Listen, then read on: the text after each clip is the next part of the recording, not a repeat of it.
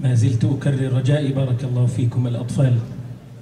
الأطفال بارك الله فيكم. خذوهم إلى الطابق العلوي. حتى نستطيع أن إحنا يعني نستوعب آيات القرآن ونحن نقرأها. نستشعر بالخشوع.